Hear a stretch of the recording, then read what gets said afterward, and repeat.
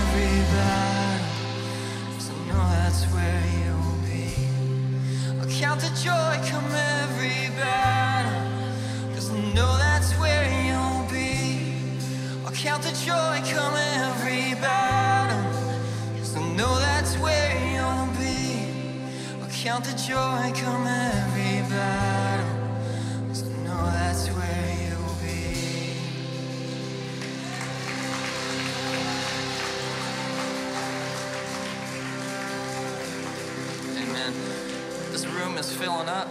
So if you guys can squeeze into the center of your row to leave room on the outside for people to come in, we'd appreciate it so much. Thank you.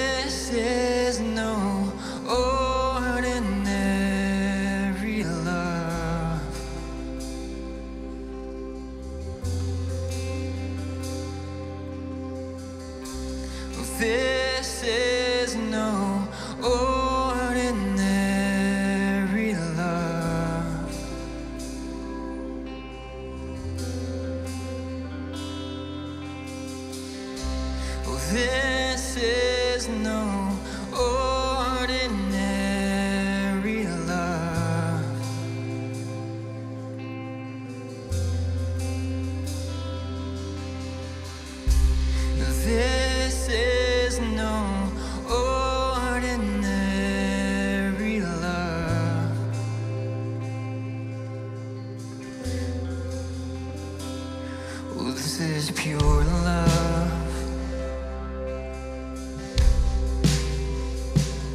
This is holy.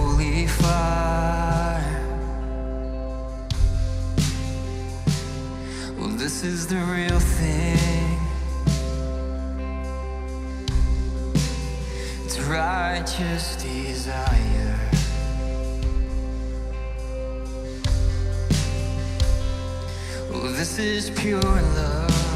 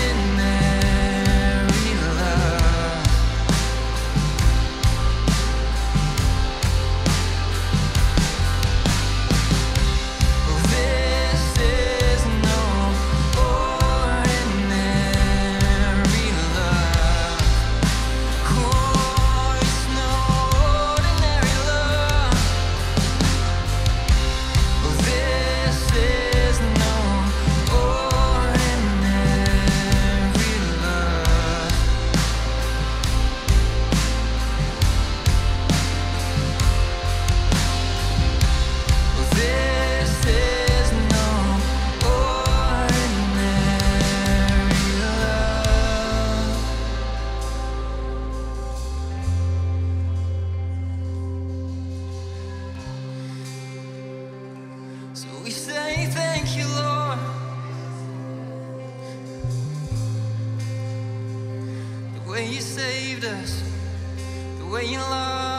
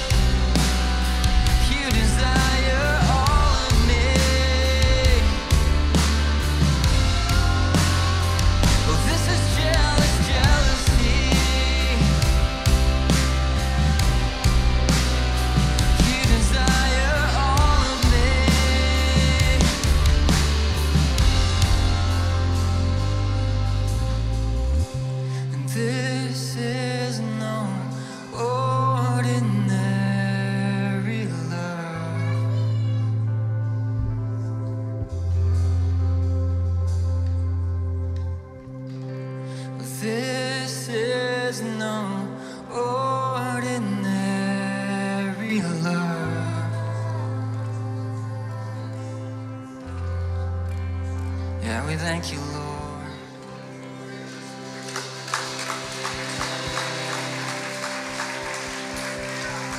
And we welcome you to the bridge again.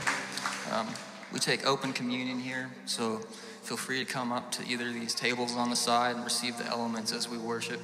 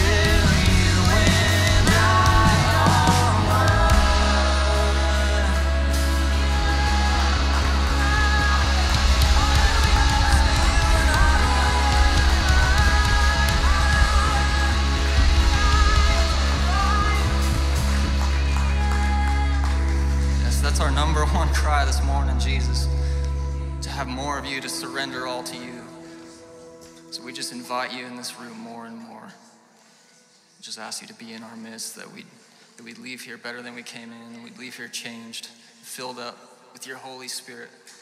Pray this in Jesus' name. And everybody says, Amen. All right, go ahead and greet someone next to you. Good morning, church. Whew, I don't know about you, but my face was rocked off this morning. That's what we call deep, deep worship. Amen. Whew, that was powerful. You can give a hand for our Lord this morning. That was amazing. He's calling us deeper, isn't he, church? Right?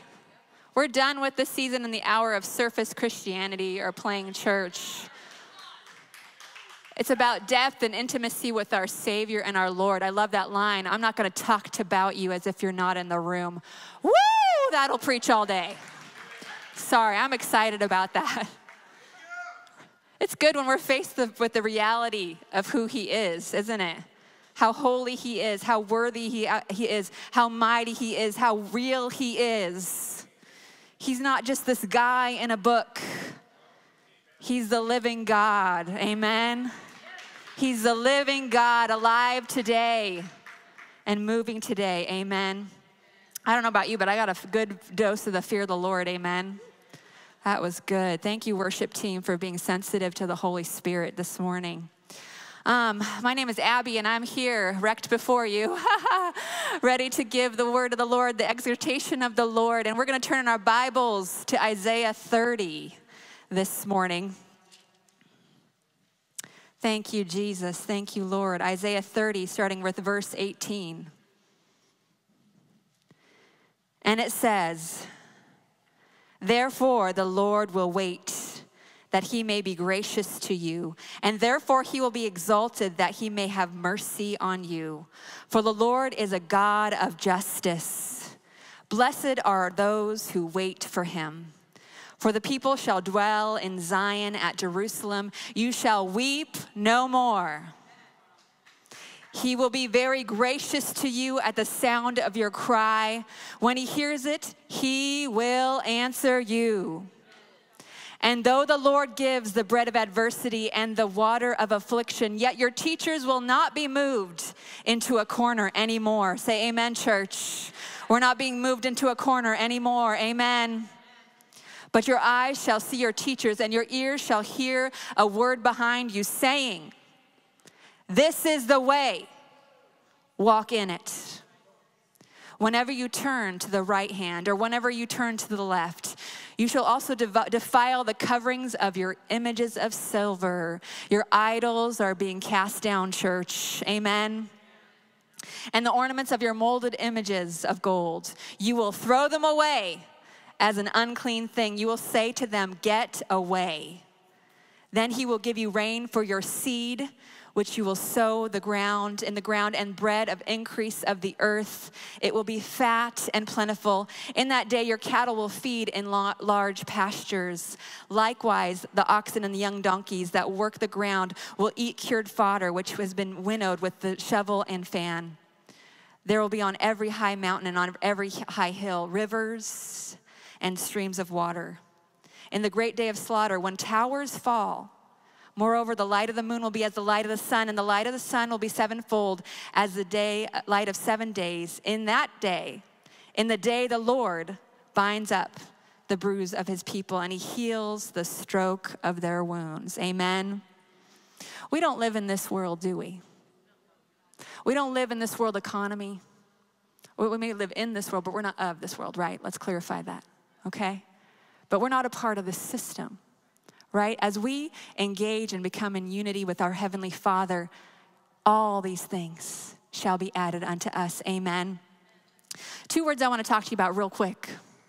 These words are the words that God gave my husband for the year, and it's called intentional and strategic.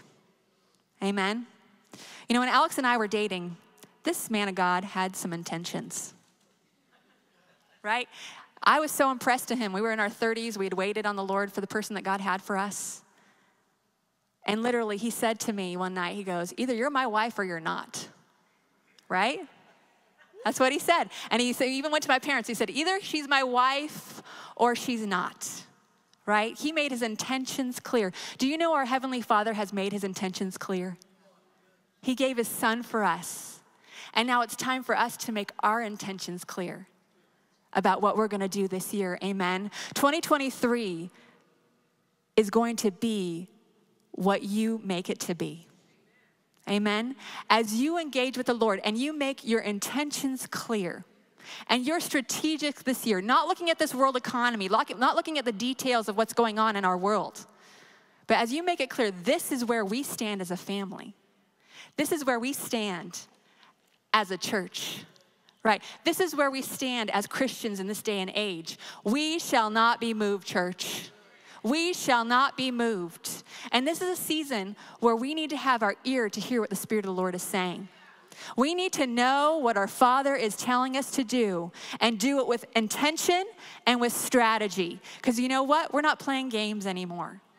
It's time to get serious about what we read in this book. It's time to get serious about what we're receiving on Sundays. It's time to get serious about what we're doing in our workplace. Amen? Because the days are short. The days are short. And you know what? We don't get second chances, people. We don't get second chances with 2023. This is the only 2023 we got. And how about we make it a glorious one? A glorious one that's focused on our Heavenly Father, where we have time where we can be intentional and strategic with what He put in our hands to do, not what we picked up. Amen? It's time to drop those things and grab onto our whole Heavenly Father.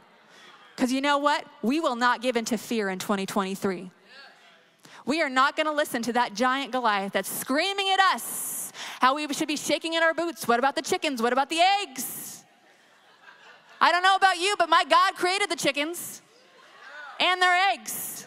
So we don't have to be afraid, but we do need to live with intention and with strategy and give space and room for the Holy Spirit to speak to us. Amen. So it's time. Either he's our God or he's not. What is your intentions? What is your intentions this day? Either we are his children or we're not. Either we are surrendered or we're not. Amen. So I encourage you this morning, even in your giving, let's give with intention. Not with fear, not with religion, not with condemnation, not with pressure. Let's give with intention. Going, God, I trust you with my 2023. And I'm not gonna waste time anymore sowing into things that are gonna die and rust and be destroyed. But I'm gonna, I'm gonna deposit into the eternal things this year. Amen? Amen. Hallelujah. Lord God, we thank you that you are so good and you have made your intentions very clear. So I pray, help us, Holy Spirit. We cannot do it without your help. Help us to make our intentions clear. And Lord, to be strategic in how we are walking our life in this season. And Lord, help us to refuse to give into a spirit of fear as we allow you to download your perfect love in us. Lord, we thank you, Lord, and praise you, Lord, in Jesus' name. Amen. Amen. Hallelujah. Pastor Justin, come on up.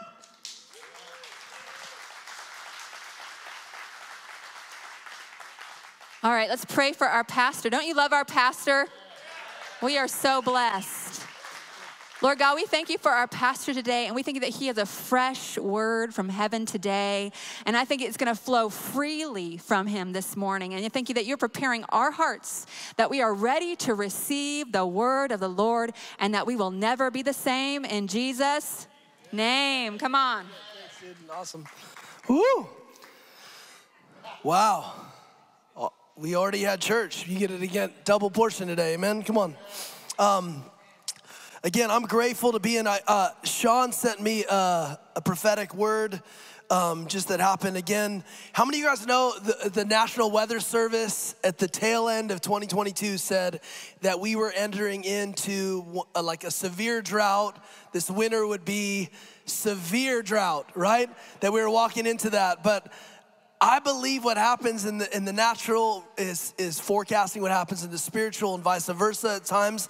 And so here's the deal: um, this lady in July or she got a word that basically saying that the God was showing her that the, the wells of Jacob were going to be poured out on California and that the streets would be flooded underwater. Um, and people were like, You're crazy, right? Um, but I just want to encourage you God is moving in the church, amen? Man, if you're watching the news, all you're seeing is darkness. But again, if you're surrounding yourself with the right people, if you're being intentional in your walk with Jesus, I'm telling you, we're seeing God move so much. We're seeing marriages restored, finances restored, lives be fully changed. Amen? Like you got to hear Carmelo last week. I was editing Sunday audio yesterday. We just got back Thursday from vacation, and I'm editing, and I was crying in my computer and just overwhelmed of like, dang, just during the worship. And then Carmelo gets up and lights the computer on fire, right? Man, and I was like, oh my gosh, right? Like, don't take for granted the reality that we get to gather together and meet freely, amen? It's been taken once, and I promise it's gonna try to be taken again. We have to continue to stand. Hebrews says, Do not forsake gathering as many of you made a habit of doing, but instead spur one another on towards love and good deeds, especially as the day of Christ approaches. He's coming back, amen? That's why we have hope. We have a hope that does not disappoint because we know that someday Christ is coming back, amen? So again, stand, amen? Have courage in the days ahead. No matter what you see, no matter how you feel, He is still on the throne and He's still faithful. And revival is coming, amen? It's happening. We have to believe that and stand in that, amen? Come on, I get another mic. Awesome. Pointed? Maybe. We'll see. Okay, good.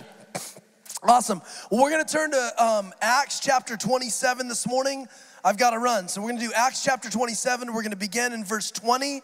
And again, I'm starting, I've got the super blessed to have the next three weeks to be able to do a series.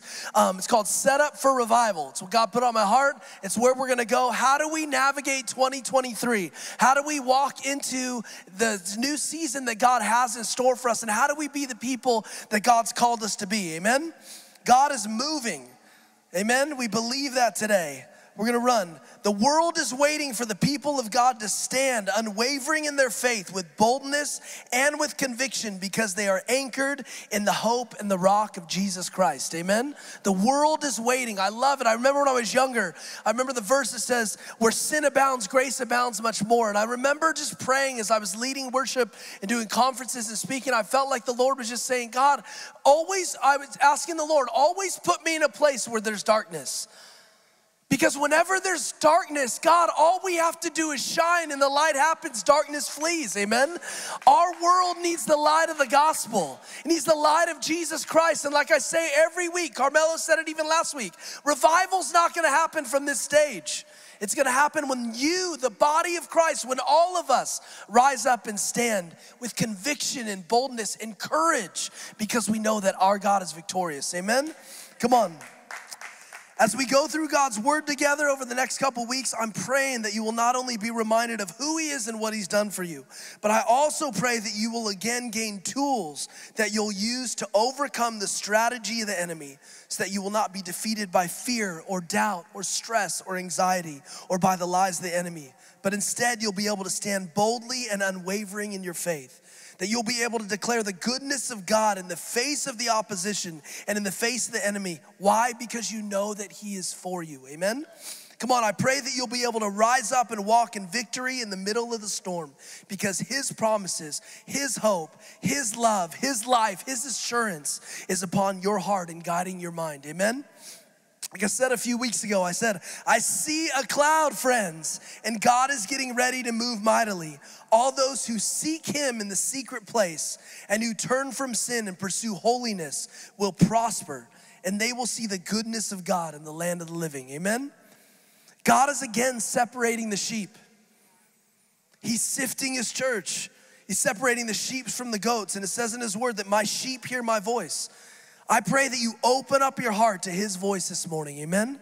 Come on, we need to hear His voice. We need His divine revelation to go where He's taken us in this new year. It's here, amen.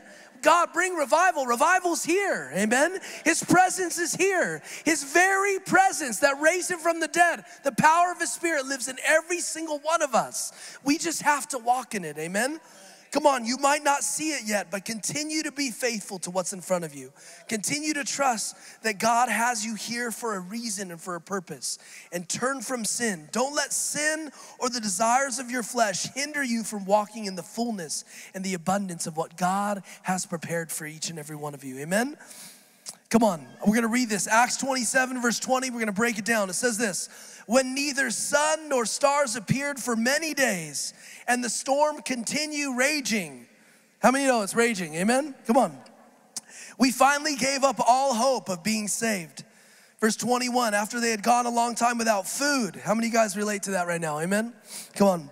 Um, man, after they'd gone a long time without food, Paul stood up before them and said, Men, you should have taken my advice not to sail from Crete. Then you would have spared yourselves this damage and loss. But now, everybody say, but now. I urge you to keep up your courage because not one of you will be lost, only the ship will be destroyed. Verse 23 For last night an angel of God to whom I belong and whom I serve stood beside me and said, Do not be afraid, Paul. You must stand trial before Caesar, and God has graciously given you the lives of all who sail with you. So keep up your courage, men, for I have faith in God that it will happen just as He told me. Amen. Come on, let's pray. God, thank you for your word. Holy Spirit, I ask, may your words be my words, Jesus. God, may it not be about my thoughts or my opinions or what I think, God. May it be about your word, God. What do you want to speak to us today, God? I pray, God, strengthen us today, God, in our inner man. God, move in our lives. God, convict us of the sin that might be hiding behind closed doors in our lives, God. May we leave this place, God, be different because we met with you, God. May we leave this place, God, free today God. Free by your blood that was shed on the cross for us, God. May we leave with hope, God, reminded, God, that it didn't just end on the cross, but that you rose from the grave and that you live in us. God, we just say we love you today, God. We open up our hearts, God. We give you all of ourselves today, and we want all that you have for us. And all God's people said, Amen. Come on. If you've been around the bridge for any amount of time, you heard me speak, you know that this passage is one of my most favorite passages in all of Scripture. It's with Paul wanting so badly to go to Rome and preach the gospel, and he had an idea of what it was gonna look like and how he was gonna get there. But how many you know God has a different plan sometimes, amen? And our life doesn't look like what we think it should look like or happen, things, circumstances, situations don't happen the way that we think they should happen. And in the midst of those times, so many of us, if we're honest, we give up before we see God's hand and miraculous touch and redemption and, and, and reconciliation in our lives because we give up too soon. And I know I sound like a broken record, constantly saying, don't give up, amen? Don't give up. No matter what you're facing, don't give up. Why? Because He's still on the throne. And yet, so many of us continually forget that when things get hard, when the storm rages around us, when things happen. So, my heart for you and me today, I'm speaking to myself, is that we don't give up, amen? But that we stand in confidence and assurance and faith in His word that He is who He says He is, amen? That we live out of a place of victory knowing He's already victorious, amen? Come on. Uh, I don't even know that was where I was at. Amen. Come on, here we go. Um, I need to be reminded day in and day out that no matter what, I need to listen to His voice and His word and have courage to actually walk it out in faith, not by sight. Amen. Come on just again, context, like I was saying, Paul wanted to go to Rome. He had a different idea of how it would be, and that's what we're gonna start in the story. Um, Paul actually is taken as a prisoner on a ship, and that's how God's gonna get him to Rome. And that's where we're gonna catch up with the story in verse 9. It says this Acts 27, verse 9 says, Much time had been lost, and sailing had already become dangerous because by now it was after the day of atonement, it's winter. So Paul warned them, Men, I can see that our voyage is going to be disastrous and bring great loss to ship and cargo and to our own lives.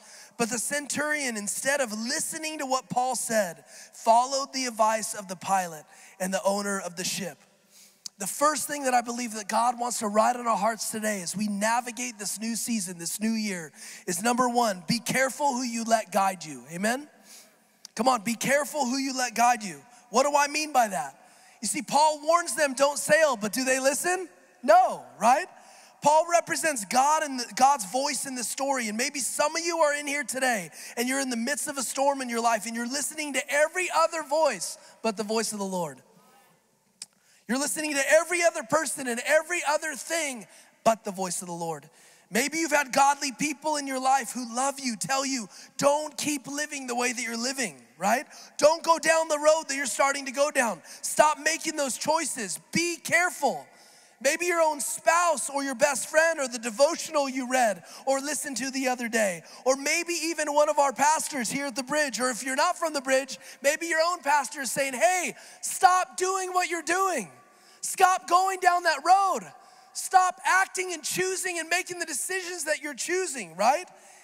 And you still in the moment are choosing to do things your way and do the very thing and make the very same decisions that you know you shouldn't be doing that are outright against God's word and his will for your life. My cry for you today is stop. Stop sinning, amen? Turn. I want to say, be careful who you let guide you. If you and I are going to be the people that God's called us to be, then we have to be led by His Spirit and we have to be led by His Word. Amen? We have to be people who stand and who are guided by His voice and His Word, not by how we feel or how we see. I say it all the time. I don't want to be people who live based upon what I see or how I feel. I want to be people who live based upon what I know is true, upon His Word. Amen? And our truth is solely based upon the Bible, it's on His Word. I talk to people all the time that want me to validate the way that they're living and the sin that's in their lives. All the time. Dude, Pastor, what do you think? Dude, what does he say? Right? It doesn't matter what I think. Like, you need to hear his voice. What does he say, right? You will always justify the things that you're doing or the way that you're living. But if it doesn't line up with the word of God, no matter what excuses you have, it's still sin. And you will block the very blessings and the covering of God upon your life period. That's it. You and I will always justify the sin in our lives. Well, it's not as bad as that person, right? I only did it once, right? Let me tell you, you open the door once, it's really open, it's really easy to open the door twice. I tell people all the time, man, he's like, man, people all the time when I talk to people, they're like, man, I just, with church, I feel disconnected. I just don't feel like I'm, I'm like, I belong. And I'm like, well, that's crap. Why do you feel like that? The religious spirit's coming up, right? Come on. Why do you feel like that? Because we have something over every single day of the week. How many times are you picking up the phone, inviting somebody to lunch or call, talking them to coffee? How, what are you, are you serving? Oh, you've been here three years. You haven't served once. That's awesome. No wonder you feel disconnected, right? It's not something that you just come to and listen to. It's about being a part of a family. Serve, right? We have a role to play in the story. The bridge isn't the bridge because of me or Carmelo or Phil or Fred. The bridge is the bridge because of you, because of the people in this church. Amen. You guys are serving. You guys, get, you want to get connected? Serve. Fight a battle along somebody else. Amen. If you're coming just to eat, I promise you're going to starve the rest of the week, right? And it might not even be that good on Sunday. Amen. We're just human, right? By God's grace alone, He shows up. I'm grateful for that. Like I've shared before, all me and Katie said four years ago was yes. God said, plant the bridge. That was birthed in His heart. God, who are you gonna send to do that? You. Okay, I'm game. How are you gonna do that? Don't worry about it. Just say yes. Yes, I'm game, right? And He's done this. And we know every time we walk in these doors that it's not by our strength or our gifting or our degrees, because there are none, right? Come on. I have a business degree, right? That's it. I have a Bible degree. I just love Jesus and love people. And He said, I'm going to use you. Amen. You have a role to play in the story. You want to get connected? You want to see God move in your life? Then take steps of faith. Be courageous. Let Him use you. Amen. Well, God, uh, God how are you going to use me? It's not for you to worry about. Just say yes. Amen. God, I just want to do it. I just want to be used by you. Well, God, look at my past. Dude, look at my past. The Carmelo's past. Let's watch the movie of everybody's past, right? Come on. Thank God I'm not the same guy I was a year ago, two years ago, 10 years ago. Amen. The power of the gospel, again, like I've said, Christianity is not about bad people becoming good. It's about dead people becoming alive. It says that the wages of sin is death. It says, For all have sinned and fallen short of the glory of God. Amen. I was in a tomb for years, dead in my sin, justifying the way that I was living multiple ways. God, well, I'm doing all these things for you, so it's okay. God, that there's grace. God, you died, you forgave me. No. He forgives you when you turn, not when you continue to intentionally sin. Like we talked about, do you know that intentional sin in the Old Testament, there wasn't even a sacrifice for that? So when you sin intentionally, man, there wasn't even a sacrifice for that in the Old Testament.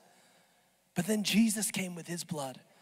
The power of the gospel is when we turn from sin, not when we keep doing it, not when we get caught, not when God exposes, but when we turn from sin. Then there's grace, then there's forgiveness, then there's redemption and restoration. Amen? God has a plan and a story. And I want to tell you, you have a role to play in the story.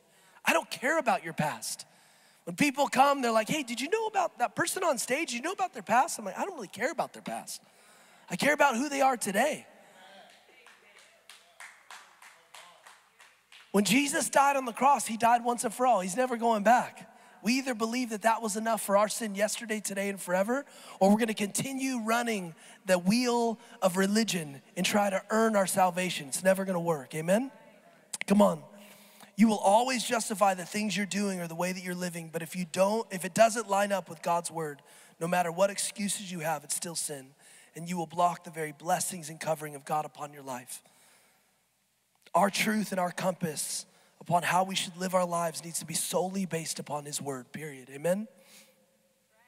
Truth is not relative, truth is absolute, and it's written in this book. Amen? And guess what? It might not always make sense. Amen? Just like in this passage, it doesn't make sense to believe the preacher over the actual sailor guy. Amen? Why didn't they listen to Paul? Because Paul had no experience sailing a ship. Amen? Sometimes when God asks you to do something, it's not gonna make sense, but if it lines up with His word, go with the flow and say yes. Amen? We always say the deal's this obedience is our job, the outcome is the Lord's. Amen? When you remember that in our life, man, God told me to do this. Does it line up with His word? Yes. Then, God, my answer to you is yes. I don't know how it's gonna happen. It doesn't make sense, but I'm choosing to trust that you, your ways are different than my ways. Amen? I'm choosing to believe and trust in that. As I look back on my life, again, there's so many decisions that I believe God spoke to me, to Katie, in our lives that never made sense. I remember when we were younger, you know, we had, we were at Shouts of Grace, her dad's church, and um, we were there. And I remember, we, again, we are young, married, we are doing everything just to pay our bills. And I remember we had a missionary come in we were praying. We had just enough in our bank account to pretty much cover rent for the month towards the end of the month. And I remember praying. I was traveling quite a bit at the time as well and leading worship and stuff like that. And um, so I remember just, we were praying and we are like, man, God, we really, I felt like, Katie, we should give. We did a love offering at the end, we should give. And both of us prayed and we're like, God, what should we give? And the amount of money that God put on our hearts was pretty much what we needed to pay rent. And I remember at that point in our, in our young marriage together, we had both heard God in our lives. We had both been obedient to the Lord. And so we both, when she said the same thing I did, we said, you know what, we're gonna trust. God, you know, and you're gonna provide. And so we prayed, we gave that amount. A week later, we got a check in the mail from a church I'd gone to like two months before. Said, hey, we just wanted to bless you guys, blah, blah, blah, and it covered our rent. Amen? Man, God's always been faithful. Amen? And there's times in our lives where He's gonna tell you to go or do something. And my, my, my challenge for you is number one, if you feel like it's the Lord, then seek it in His Word. God, does this line up with your Word? And if it does, then be obedient. Obedience is our job, outcome is His. How He's gonna make it work or turn it around is up to Him, not to you. Amen? There's only one person whose name is Jesus, and it's not you or I. Amen? Come on, trust Him in that. I also know that there's many times in my life where God told me to do something and I chose to do my own thing. I chose to live in my own sin and do things my own way. And can I tell you, in those moments, outcome was my fault. We always want to blame God and point the finger, right? Let me tell you one of the greatest lessons I learned in my life. You might be forgiven, but there are still consequences for your sin. Man, what about grace? What about forgiveness? There's still consequences. We're forgiven, but there's still consequences for our sin. Make decisions based upon eternity, amen? Not upon yourself and satisfying the desires of your flesh in the moment. Come on, again, that's why we're doing this fast. It's not to lose weight, amen? Come on. Oh, I'm stoked. My church is losing weight. Dude, thank God, right? If that was true, we wouldn't have donuts still on Sunday, right? Come on. It's, it's, to, it's to be intentional. It's to take control over our flesh and the cravings of our desires of our flesh, of our selfish desires, and to fix our gaze on Jesus and say, God, I trust you to sustain me. I trust you to provide. God, I trust you to be my all in all. We sang that's like a 20 year old song. You won't relent, maybe, uh, maybe older, right? I love it, right? I remember leading that at youth conferences years and years ago, right? You won't relent until you have it all. Western Christianity believes the false reality that Jesus only wants parts of us at some moments. He wants all of us at all moments, amen? And that's where freedom comes in when you do what Abby said and you surrender and say, God, I give you everything. When you learn that with finances, it's incredibly free because you're like, God, I know that everything I have comes from you. I know that you give and you take away. God, I know that whatever I have, you put in my hands so that I can be a blessing to others. So when he speaks to us and says, hey, give or do this or bless or, or be generous, it's easy and free to do that because you know, God, I'm never gonna outgive you. I will never outgive you. Amen? Some of you guys know our story. Recently, we last year, those of you guys, a lot of new faces. Um, Last year, we were told not only did we have to move churches and church building because our lease was up, but we also had to move out of our personal home. We didn't have a down a deposit. We didn't know how that was going to happen. We were paying 2500 for rent where we lived in San Ynez and Solvang, and we were commuting back and forth. We thought that was a lot to us. And then we started looking. We've been, been there for seven some years, and we started looking, and all of a sudden we're like, whoa, it's like double that almost, right? So maybe let's look at Orcutt and Santa Maria. It was the same price. So you're like, God, you've got to make a way. Can I tell you, right now, we own our home, right? We got to we got to buy a home last year by the goodness of God, by the grace of God in our lives. Where there was no way. Amen. Come on, he provided a way. He gave us a down payment on a home. Amen. Over a hundred grand was given to us, free and clear by Jesus. Amen through the faithfulness of people, right? Man, only God does that. And people were like, dude, were you surprised? I was like, I really wasn't. I was grateful. But God's always done that in our lives. He's not only done that in our lives, but He's done that in our church. Amen. We've only been around for four years. He's blessed our church, and we continue to be a blessing to others. Amen. Like, God alone is the source of life. We have to remember that. Amen. Come on, make decisions that's based upon eternity. It's about start, starting off this new year right before the Lord and giving Him our first fruits so that He blesses the rest, right? Be careful who you let guide you. There are gonna be people in your life that are gonna not wanna hurt your feelings and tell you that how you're living or what you're doing is okay. Don't surround yourself with those people, amen? I'm thankful that I have guys in my life and people in my life that love me enough to say, dude, what's going on? What are you doing? Why are you acting this way? Right? We need people in our lives to do that. Amen? Come on, don't justify the way that you're living. If it doesn't line up with the Lord, I'm telling you today, it's fluffy Christianity to say that everybody makes it. You don't make it by being a good person. Amen? Come on, live holy unto the Lord. Amen? Come on, let's keep reading. Verse 13 When a gentle south wind began to blow, they saw their opportunity. So they weighed anchor and sailed along the shore of Crete. And before very long, a wind of hurricane force called the Northeaster swept down from the island. How many of you know sin is fun for a season? Amen? It is. It's fun for a season, be honest, right? But let me tell you, that season always runs out. Amen? How many of you guys know that in your life? Amen? Come on. Man, we got a lot of people need to be saved. Good, come on. Right?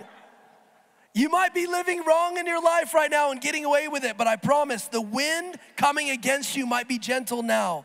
But when sin always catches up with you, and God always exposes sin in your life, always, right? Always. God always exposes sin in your life and He chastens and disciplines those He loves. Before you know it, you'll be in the middle of a storm where you can't get out. And let me encourage you, church. Right now, with everything in me, I believe the Lord, like I said, is sifting His church. We've been in a season of God sifting his church and exposing sin in the body. He's purifying his bride and he's separating those who are wholly his and those who are just giving lip service and checking off the box. There's only holy and not holy, so don't fool yourself. If you're living in sin or straddling the fence on whether you believe that he is who he says he is, my heart for you today is turn. Amen repent, turn and repent and come to Jesus. Amen. Give him everything. Choose holiness and come and fall at the feet of Jesus. Repent and choose to sin no more. You might be in here today and this is all you needed to hear. Right? Stop living the way that you're living. Come and finally give him your life, give him your heart, give him your finances, give him your everything. Because at the end of the day, there's only one name, and his name is Jesus. Amen? You don't know if today is your last. Don't chance being on the wrong team for eternity. Amen? Come on. Verse 15, we're gonna keep reading. It says that the ship was caught by the storm and could not head into the wind. So it gave way to it and was driven along. How many of you know if you're surrounding yourself with the wrong people and the wrong influence, sooner or later, no matter how strong you think you are, you'll end up being driven along and becoming like those you're surrounding yourself with, right? Remember a couple weeks ago I spoke this. I said for you for you to drift and be swept away by the enemy, you don't need to commit some grave sin or make some great mistake in your life. You just need to do nothing. Right? Come on, stagnant Christianity is false religion. And if you've truly been saved, then you can't help but respond to Jesus with your life. Amen? You can't help but worship. You can't help but show compassion. You can't help but be generous. You can't help but give. You can't help but live in a response to Him, right? So many of us pray the prayer and leave it at that. But it's so much more than that, amen? It's about making time to let Him speak into your life, right? What's the fruit of your life, right? I remember a preacher a couple years ago, we went to conference as a staff, and I remember the preacher was talking about Daniel in the lion's den, right? And he talked about Daniel gets thrown in and no, the, the lions don't eat him. But the guys that were putting him in there fell down, and all of a sudden they were munched up, right? They were scorched because the fire was so hot. And all of a sudden, Daniel came out. King Nebuchadnezzar said, Man, hey, we're going to worship your God. This is my version. You can read it later, right? So we're gonna worship your God, and all of you false prophets are thrown in, right? And they're thrown, it says that immediately before they even hit the ground, the lions ate them. And I remember the preacher stopping, it's a genius, it's amazing. And he said, Were the lions not hungry? No, they were hungry because it says before they hit the ground, those men were eaten. But he said, Here's the deal what do lions eat? Meat. If you have the fruit of the Spirit in your life, you will not be defeated by the enemy. But if you're living in the flesh, I promise, the devil is prowling like a roaring lion looking for those he's gonna devour. Amen? Come on, how are you living? Carmelo shared it last week. Amen? Come on. Look at the people in your life and say, hey, are you living by the fruit of the Spirit? Are you living in your flesh? Because if you're living in the flesh, that means there's a lion around the corner looking to devour you. I don't want anything to do with it, right? Come on, run. Pull them out, amen? Come on. Stagnant Christianity is false religion. When you're surrounding yourself with believers who don't just know about God, but who really know Him and who are standing on His word, then you're encouraged, you're held accountable, your confidence is lifted, you're filled with hope and love and joy, no matter your circumstances or the situations you face. Amen? But if you're surrounded by people who are being overcome with fear and anger, unforgiveness, anxiety, doubt, uncertainty, you name it, what happens? Eventually, you start being overcome by those very things. You end up being driven to places that you never wanted to go. That's why it's so important and so necessary, like I said, to continue to come and gather together. Amen? When we gather together, we're not coming to church, oh man, I hope they're playing that song today. I hope Carmelo's preaching, right? I hope the Filipino guy is not on the stage, right? That's me, by the way. All right? No, it's not about us.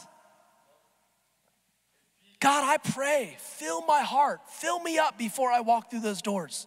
Show me who you who you want me to minister to, who you want me to encourage, right? Who you want me to strengthen. Who do you want me to push, God, towards love and good deeds? God, because you're coming back. Amen. It's strengthening. We are able to come in here. We're able to we're not just singing songs. We're worshiping, we're declaring and proclaiming the goodness and the faithfulness of our God. We're reminding ourselves that He's worthy. We're reminding ourselves that He's faithful. We're reminding ourselves that He's mighty, that He's good. Amen? And so when we do that, our spirit man is lifted up and we're reminded, God, you're still on the throne. Man, I thought what I have in my life and what I'm facing is so big, but God, now that I come and I'm reminded of who you are and what you've done, I see you, God. And I'm reminded that Jesus, your name is above every name, that you are greater, God, that you are faithful, that you are sovereign, that you are on the throne. So no matter what storm I'm facing, God, I choose to trust you and continue to move forward. Why? Because I know that you're for me. I know that you'll never leave me and forsake me. That's what it's about, amen? It's not about fluffy Christianity making you feel good, amen? It's reminding you of who He is and what He's done. It's reminding you that you have a role to play in the story, amen? Come on, how would this change? I am already grateful for God's presence in this place, always. Right? Never want to take that for granted. I talk to so many pastors and leaders all the time that never experience what we experience on a weekly basis. And that's not by our own strength, like I said, that's by the grace of God. All we continue to do is stay on our face and say, God, just show up. And He's so faithful to do it. But so many other churches and bodies don't experience that. They come in and you're like, dang, who died? Like, right? I thought you have the answer. I thought you had hope. I thought you had strength. What's going on, right? Man, we have hope and joy that only comes from Jesus. Amen. Joy is in Him alone, not based on our circumstance or our situation, right? That's why we come and gather and we leave different. Amen. Jesus reminds us of that. That's why it's so important for us to never forsake that. Like I said, Hebrews 10, don't forsake gathering together as many made a habit of doing, but instead spur one another on towards love and good deeds, especially as the day of Christ draws near. Be careful who you let surround you. Amen. Come on, let's keep going. Verse 16. As we passed to the lee of a small island called Cauda, we were hardly able to make the lifeboat secure. So the men hoisted it aboard. Then they passed ropes under the ship itself to hold it together because they were afraid that they would run aground on the sandbars of Syrtis. They lowered the sea anchor and let the ship be driven along. We took such a violent battering that the storm from the storm that the next day they began to throw the cargo overboard. On the third day, they threw the ship's tackle overboard with their own hands. The next thing that I believe the Lord wants to write on our hearts is this. This year, choose to look to God first. Amen? This year, choose to look to God first. I think it's funny how sometimes in the middle of the storm, we try everything else to hold our ship together, right? To hold our lives together. My prayer for us this year is that when the storms of life come, you and I choose to look to God first, not last. Amen? Come on, I pray that you choose to look to Him and His Word, that you put your hope in Him first, and don't wait till you've exhausted every other resource and every other way of trying to hold it together on yourself. Amen? Look to Jesus first. Fix your eyes on Him first. Verse 20 says, When neither sun nor stars appeared for many days and the storm continued raging, we finally gave up all hope of being saved. I want to challenge you today if you are hopeless in this place today, in your life or in our nation or in the economy or the government, I'm telling you, do not give up hope. Amen. God is moving. Amen. He's pouring out his spirit. And I believe that he's gonna move greater than we've ever seen in our lives. Amen. But we have to be faithful to trust in that. Verse 21 says, After they had gone a long time without food, Paul stood up before them and said, Men, you should have taken my advice not to sail from Crete. Then you would have spared yourself this damage and loss. But what did he say? But now, amen? Beginning of verse 22, it says, But now, But now I urge you to keep up your courage, because not one of you will be lost, only the ship will be destroyed. What will be destroyed? The ship, amen? Come on, I don't know about you, but that's good news for me. And that's relevant for us today because no matter what it is that you came here with, no matter what it is that you're fighting up against in your life right now, I again just want to say, eh, like I say every single week, don't give up, amen? Don't give up. Have courage, continue to stand in hope. I think that's for somebody today that you came in here hopeless. You came in here broken. You might be facing a storm in your life that seems impossible, but I want to tell you don't give up, amen? Don't give up. You feel like it's over. You might feel like there's no way that you'll ever get through this or overcome whatever it is you're fighting against. But again, I want to say, but now, amen? When hard things happen this year, I want you, I want us as a church to say, but now, God, right? Yeah, I got this diagnosis, but now, God, I choose to trust you, God. God, my marriage is in shambles, but now, God, I choose to walk holy and to trust you, Jesus. Amen? God, but now I choose to fix my eyes on you no matter what you face this year. Make a choice in your heart. Be intentional. Say, God, but now, God, I always believe that you have the final say. I always believe that there's hope in you, God. It's I'm gonna fix my eyes on you, God. I'm not gonna live based upon what I see or how I feel, but I'm gonna live based upon what I know is true that you love me, God, that I'm beloved. That I'm chosen, that I'm called, God, that you'll never leave me nor forsake me, God. And no matter what, if I lose my life, I know where I'm going. So I will not fear, but I will continue to stand. Amen? Come on, this place is not eternity, it's not the end. Fix your eyes on eternity. Amen? Stop sinning if you're living in sin. Turn and choose to walk holy unto the Lord. Stop blaming everyone else and everything around you for the situation you're in. Amen? Come on, stop making stupid decisions. Period. Right? Just stop. God, why am I where I'm at? Stop making choices that don't line up with His word. Amen? Live holy, walk holy unto Him. Stop compromising, church. Amen? That's my cry to everyone in our lives. I don't want you to walk outside of the covering of the Savior.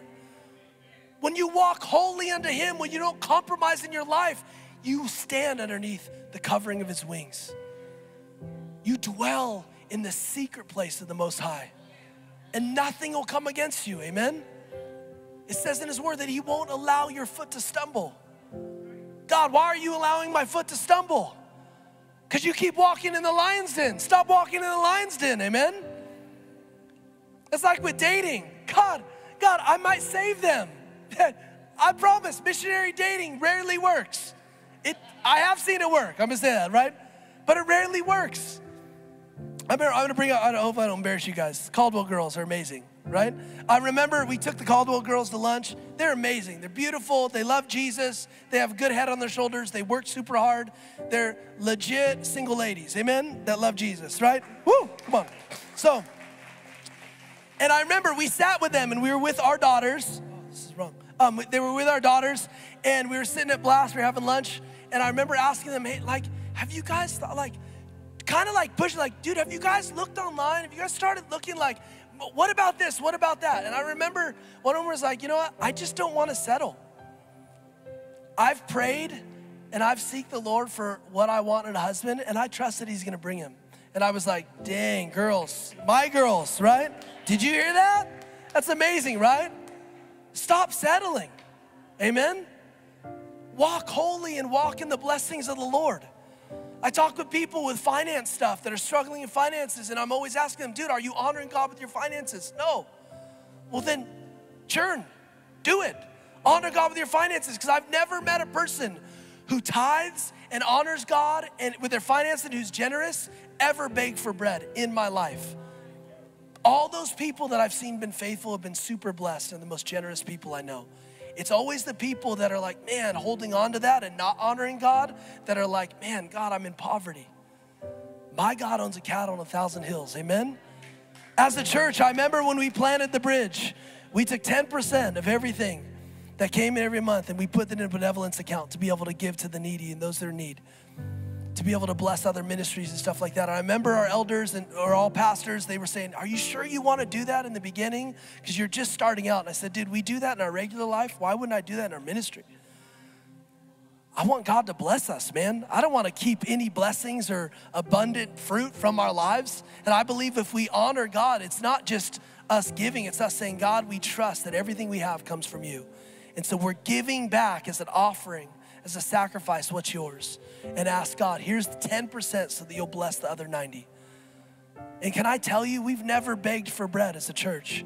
Even in COVID, in the midst of the pandemic, when churches were shut down, we continued to operate and give to the needy and help the elderly and give to the sick and be able to be the church. And let me tell you, all of our bills were always paid, and God continued to allow us to be generous and bless others. That only happens because we trusted Him with our finances. Amen? How much more will He bless you if you trust Him with your life? Amen? Why do we gather the, the Sunday, the first day of the week? We give God the first fruits of our week so that He'll bless the rest. Why do we gather for 24 hours to fast, pray, and worship Him December 31st through January 1st? So we're saying, God, we're giving you the first fruits of our 2023. Why? So that you'll bless the rest. And that's why there's a confidence and assurance that's knowing that, God, I know that you're for us. I know that you're going before us. I know whatever battle comes our way, you're in control and you're gonna fight it. Amen? I know that He's for us. There's freedom that comes when you honor God. If we're honest, too much of the time we blame God for the consequences and results, results of our poor decisions or our intentional decisions to sin against Him. Just own it, stop it, and turn from it. Amen? That's pretty easy. God, what's your will for my life? God, let me own my sin and my faults. God, let me stop living in sin and let me turn from it and let me walk with you. Amen? That's it. What does the Lord require of you? To act justly, to love mercifully, and to walk humbly with your God. Amen? Not just to come to church on a Sunday morning once a week, but to walk humbly with Him every single day. Amen? Come on, what did Paul say? He said, But now, I'm gonna end. Keep up your courage, which means I'm gonna end in like 10 minutes. Amen? Come on. Um, he says, But now, keep up your courage. Verse 23 For last night, an angel of God to whom I belong and whom I've served stood beside me. Do you belong to God, church? That's the question. Do I belong to God? Amen? Are you living to serve Him? Pastor Carmelo asked the question a few weeks ago To whom will you serve? Do you belong to Jesus? Are you living to serve Him? If you're not, then stop wondering why He isn't standing beside you. Amen? Paul knew that his God was standing beside him. Amen? Come on, it says, Paul says, verse 23 Last night, an angel of the God to whom I belong and whom I serve stood beside me I pray that you and I can say that in our lives. In every giant, every opposition, every circumstance and situation that we're able to say, I know the God to whom I belong and to whom I serve, and He stands with me. He stands beside me. Amen. He goes before me. And Paul says in verse 24 and said, Do not be afraid, Paul. You must stand trial before Caesar, and God has graciously given to you the lives of all who sail with you. So keep up your courage, men. For I have faith in God, not in man, not in the government, not in economy, but faith in God that it will happen just as He told me. Nevertheless, we must run aground on some island. Amen, right? Come on. I know that God's gonna get me through, but the ship is still gonna be destroyed. Amen? Come on. God wants to destroy some ships in our life. Amen? Come on, the last thing that I believe that God wants to speak to us and write on our hearts today is number three put your faith only in God and trust Him that it will happen just as He said. Amen? It's right there in verse 25. So keep up your courage, men, for I have faith in God that it will happen just as He told me. 2 Corinthians 5 7 says, We walk by faith and not by sight. Romans 10 17 says, So then faith comes by hearing, and hearing by the word of God. Paul is saying, no matter what you feel, and no matter how hopeless it might seem, keep up your courage and don't give up. Amen? Why? Because my God has the final say. Because my God is faithful, and I know that He's for me. And he said that I'm going to make it to the other side. And he said that I can't die in this storm because I have a greater battle ahead of him. Amen. He says, You are going to go to Rome. You're going to preach, but I'm going to take you a different way. He said that I must stand before Caesar, so that means that I'm not dying in this middle of the storm. He said, You aren't either. Amen. Come on. So I believe his word and I'm standing on his word. I have faith in who? My God. Amen. It has to be your God. I can't live the Christian life for you. You have to do it on your own.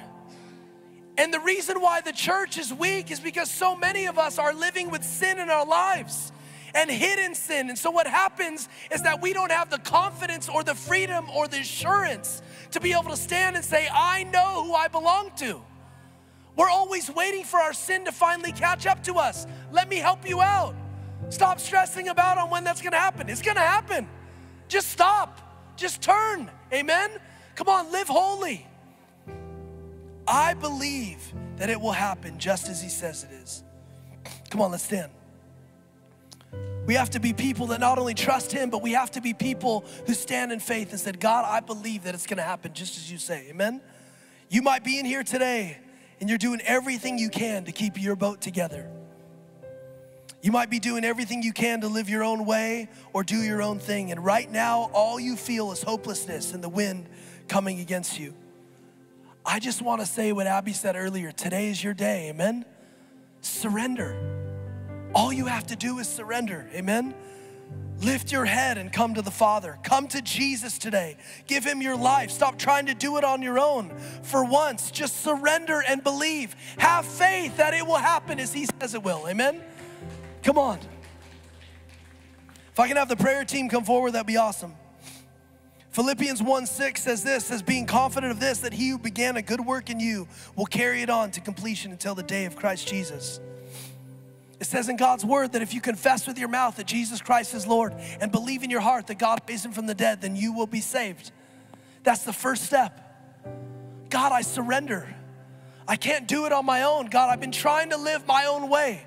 God, I've been trying to live this life, doing everything in my own strength to keep this life together, to keep my family together, to keep my finances together, to keep my children together, God, to keep this life together, God, but it's falling apart.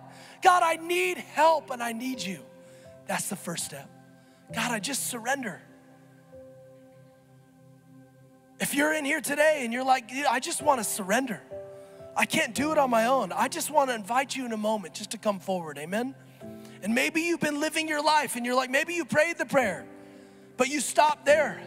Maybe your relationship with Jesus exists at 10 a.m. on Sunday mornings, and that's it. And you're defeated and you're hopeless and you're broken and you're doing everything in your own strength to somehow overcome the compromise and the sin and the junk that's in your life. And all it's doing is continuing to take you further and further away from the Savior.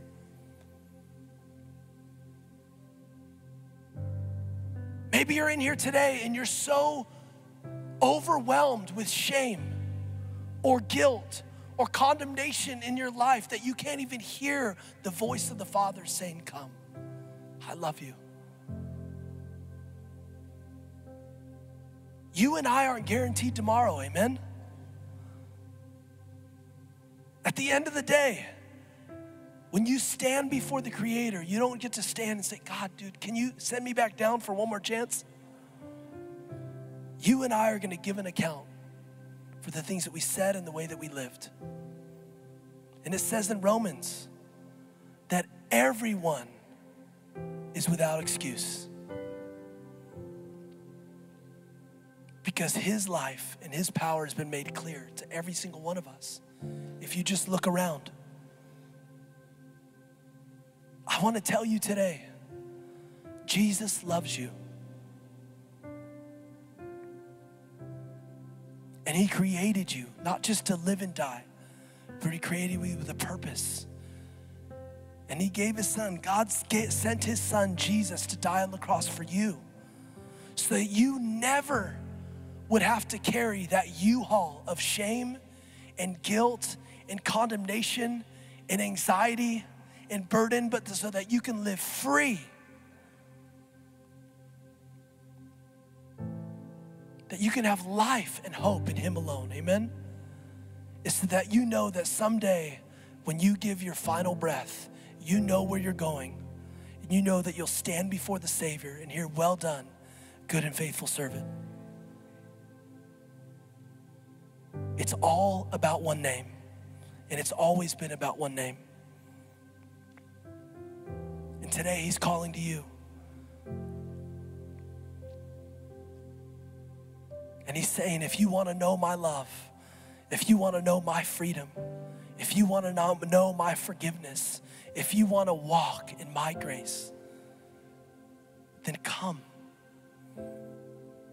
If that's any one of you today, I just want you to come forward. We're going to pray for you. Amen? Come on.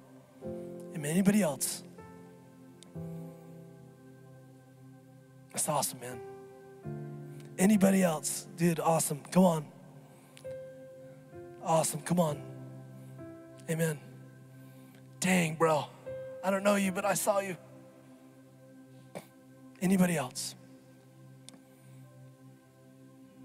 God, I'm laying my sin at the foot of the cross today and I'm coming to you. Anybody else?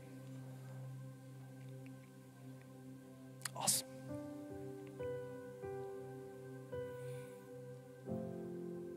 Come on. Come on.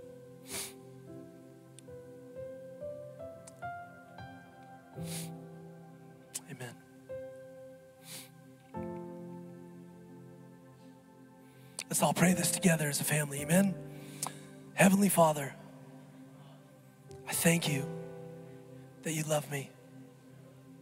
And I thank you that you sent your son, Jesus, to die on the cross for me. Today, I receive your forgiveness for all of my sin, yesterday, today, and forever. And I confess you, Jesus Christ, as Lord of my life. And I believe in my heart that God raised you from the dead and that you will come back someday.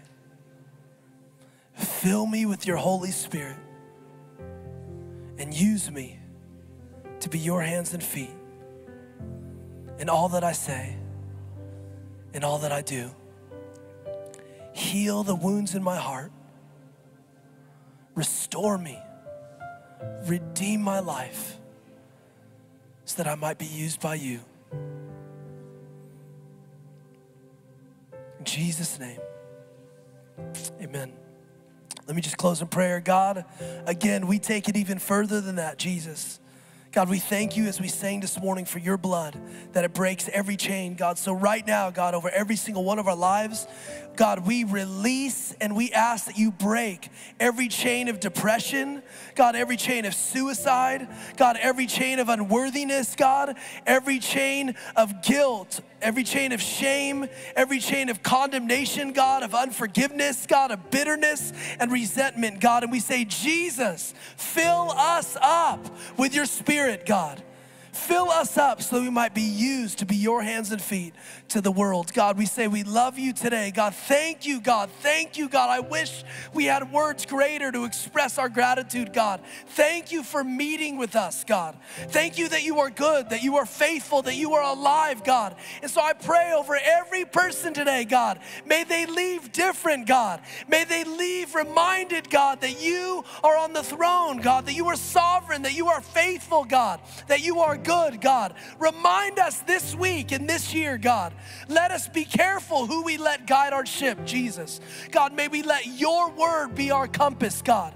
May we be faithful, God, to put our hope and our trust in you alone, God.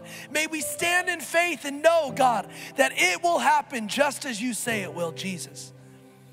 God, we say we love you today. God, thank you for birthing the bridge in your heart. Thank you that we get to be a part of this family, God. And I pray, God, may our faith be lived out outside these walls. God, we just say we love you, God. We praise you. We thank you for all that you are. And all God's people said, Amen. Love you guys. We'll see you next week. Give somebody a hug on your way out. If you need prayer, feel free to come forward. Amen.